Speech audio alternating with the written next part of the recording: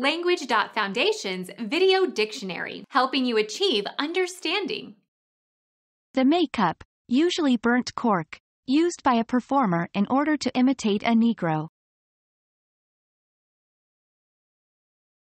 Become our student and get access to effective and free educational materials. Subscribe to our channel to become a part of our growing community and to learn English effectively.